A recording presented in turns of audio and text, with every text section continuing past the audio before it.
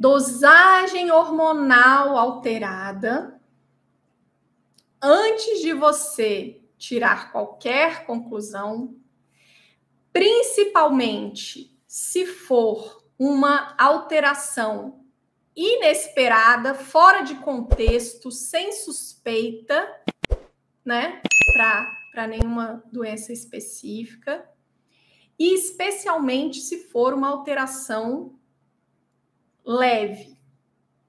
Gente, tem que repetir. Tem que repetir o exame. Só uma dosagem não é suficiente para você dar diagnóstico. Uma dosagem hormonal apenas. É lógico que assim, ó, eu estou falando de uma circunstância que é o que acontece em geral, né? Da, da situação que realmente costuma acontecer que é o seguinte: às vezes é um, o paciente chega com uma bateria de exames lá, uma série de exames que, inclusive, a gente é, muitas vezes, né, foi um outro profissional que pediu. E muitas vezes, muitos dos exames que estão ali naquela lista, eles não tinham uma indicação, né, para terem sido solicitados. E aí, de repente, no meio daquela bateria de exames, tem um exame alterado. Ou então, às vezes até assim, é, era pertinente, né, aquela solicitação de exame, mas você não estava esperando a alteração que veio. Ou então veio uma alteração leve demais. Por exemplo, ó, vou dar um exemplo bem da prática, bem do dia a dia que acontece toda hora, que eu tenho certeza que você já pegou. Um paciente que chega trazendo um TSH de 9, TSH de 9, por exemplo, para um valor de referência até 4,5. Aí vem lá um TSH de 9. Você fala, nossa, esse TSH está alterado. E aí, né? Qual que é o diagnóstico? Todos os demais exames estão normais, né? O paciente fez o T4 livre, também deu normal. É só esse TSH aí que está alterado. E aí? Ah, não, isso aqui já sei, isso aqui é hipotiroidismo subclínica. Gente, Alterações hormonais né, aparecem em exames complementares com uma certa frequência em indivíduos normais. No caso específico da tireoide, também pode ser uma alteração transitória. Aí você fala, uai, mas como assim, né? Como é que pode um, um exame alterado numa pessoa normal? Pode. Por quê? Pode porque você pode ter um erro laboratorial. Você pode ter algum interferente na dosagem que fez com que esse resultado viesse alterado, algum fator pré-analítico, analítico ou pós-analítico. O que, que, é isso? Isso é o seguinte: é, um resultado de dosagem hormonal ele pode ser influenciado por algum fator, por exemplo, pré-analítico. O que é fator pré-analítico? Ah, condições em que o paciente foi para a coleta.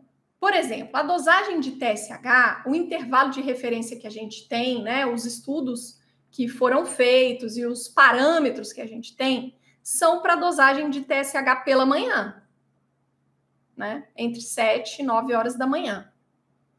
Se o paciente foi ao laboratório e colheu na parte da tarde, pode ser que esse resultado venha fora do intervalo da referência. Esse é um fator pré-analítico. O que, é fator analítico? Pode ter um problema ali, né? Pode ser um kit do laboratório que está vencido, né? Pode ser algum problema no aparelho de, de, de dosagem lá dentro do laboratório, ou algum erro humano, né? Pode ter troca, alguma troca de amostra. Ou então pode ser um fator pós-analítico, por exemplo, ah, na hora de digitar o resultado, teve um erro de digitação do resultado do exame. Então, a, as dosagens hormonais elas estão sujeitas, né, a, a erros, a erros.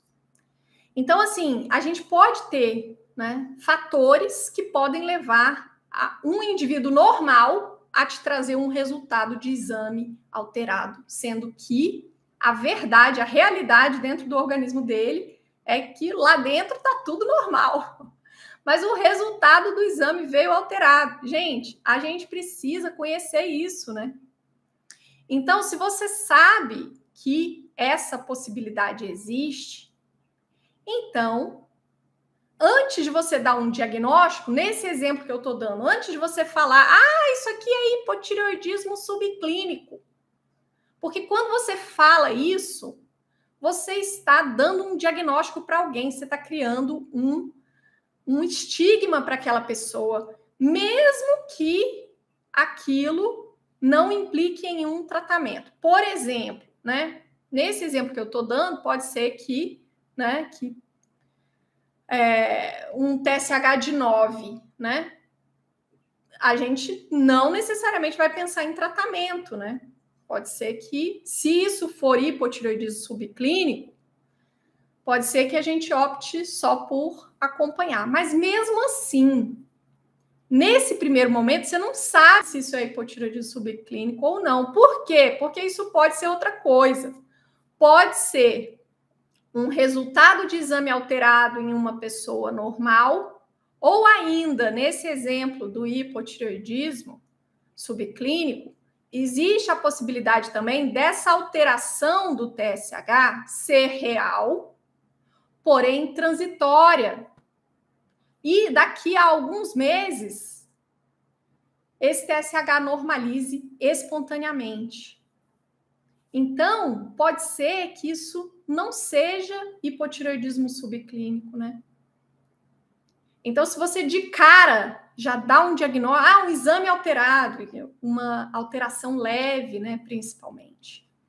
Vem o exame alterado antes de qualquer coisa, antes de dar qualquer diagnóstico, você precisa repetir esse exame.